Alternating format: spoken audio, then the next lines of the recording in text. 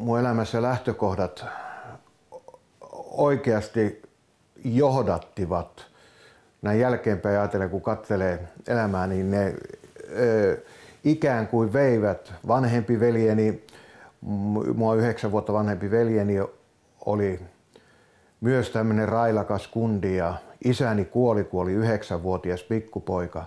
Jäin, äiti jäi vetämään perhettä, työläisperhettä eteenpäin ja, ja myös siinä kuvioissa oli alkoholia, oli tällaisia suhteita, miessuhteita nuorella leskellä ja niin edelleen. Kaikki tämä ikään kuin viitoitti sitä tietä ja mä, mä jo nuorena ihannoin sellaisen kovan jätkän roolia ja, ja, ja kaikki se mikä oli tämmöistä, mitä näin niin kuin veljeni porukoissa ja niissä, niin se oli semmoista, joka niin kuin imas, tässä on jotakin. Ja alkoholi ja päihteet, jotka tuli mun elämään 2-13 vuoden ikäisenä, nehän autto tietysti ujo arkaa poikaa, että kun vähän koskenkorvaa oli ottanut, niin sitä oli jo melkein niin kuin Elvis Presley. Että alkoholilla ja päihteillä oli mun elämääni aivan kuin tilaus, sosiaalinen ja, ja tämmöinen henkinen tilaus.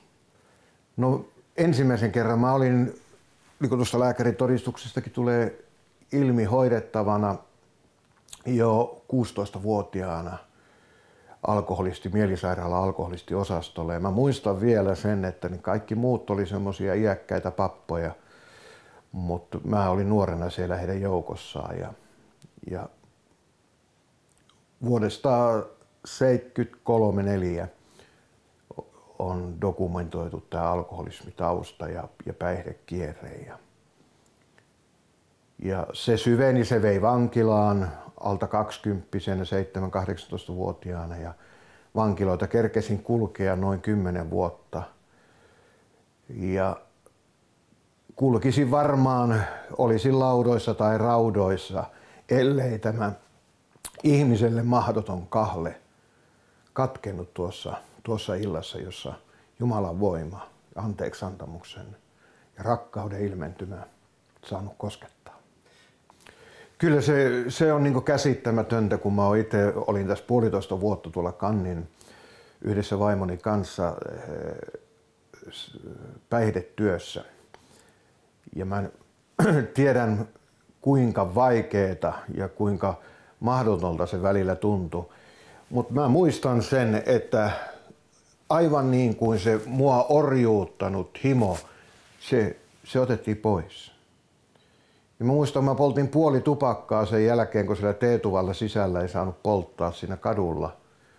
Niin mä tajusin, että ei tähän mä enää tätä tarvi. Mutta tupakkamies mä en ole mikään hirveän kova, että mä olin joskus linnassakin polttamatta sillä lailla. Mutta se, että mä vapauduin siitä alkoholismin päihdeorjuudesta.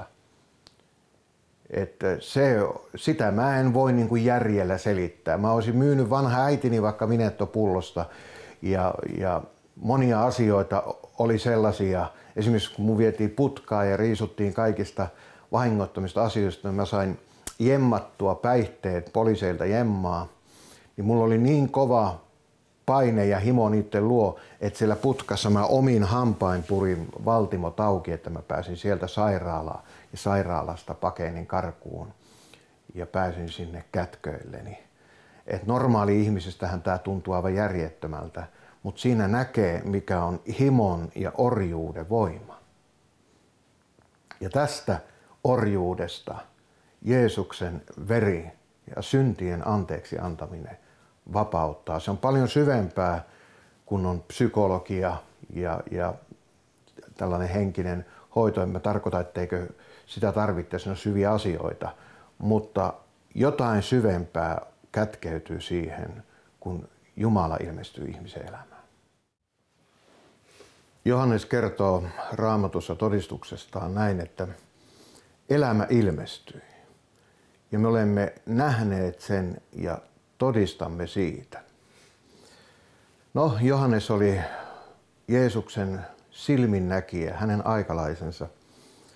Mutta voiko vielä 2000 vuoden jälkeen olla omakohtainen todistaja Jeesuksesta? Mulla on tässä kädessäni lääkärin todistus 80-luvun alusta, jossa kuvataan mun elämää silloisen 25-6-vuotiaan nuoren miehen elämää. Tuo lääkärin todistus pitää sisällään aivan kuin läpileikkauksen silloisesta elämästä, joka oli tuhoutua mahdottomuuteensa. Tuossa lääkärin todistuksessa on kymmeniä eri hoitolaitoskertoja, mielisairaalahoitoja, alkoholistiparantolahoitoja, kaikkea. Ja se kuvaa täydellisesti tuhoon tuomitun kuoleman partaalla olevan nuoren miehen elämää. Kun olen jälkeenpäin sitä lukenut, niin tuo lääkärin todistus on ikään kuin kuoleman tuomio, ellei elämä olisi ilmestynyt. Vuonna 1983 vappuattoiltana nuoret kadulla, minä siellä heidän keskellään monen viikon ryyppiputken juoneena – ja he kutsuivat minut sieltä kadulta teetupaa juomaan kahvia ja, ja viettämään iltaa. Ja he kertoivat ja julistivat Jeesusta Kristusta. Tuona iltana muutamien kysymyksien jälkeen, joita heille esitin, sen tähden, että oli varma siitä, että minun kaltainen ihminen ei voi muuttua eikä pelastua. Mutta nuo nuoret lukivat raamatusta Jeesuksesta, joka oli sanonut muun muassa näin, että sitä, joka minun tyköni tulee, niin hän ei heitä koskaan pois. Ja he edelleen vakuuttivat Jeesuksen sanon, että kaikki, jotka ottivat hänet vastaan, hän antoi voiman tulla Jumalan lapseksi.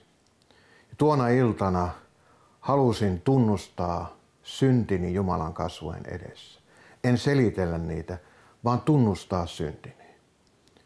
Ja Jumalan voima ilmestyi minun elämääni. Ja tänä päivänä voin aivan omakohtaisesti todistaa niin kuin Johanneskin. En siitä, että olisin nähnyt silmilläni Jeesuksen, vaan siitä, että olen saanut vastaanottaa ja kokea sen elämän, jota Kristus on tänäkin päivänä.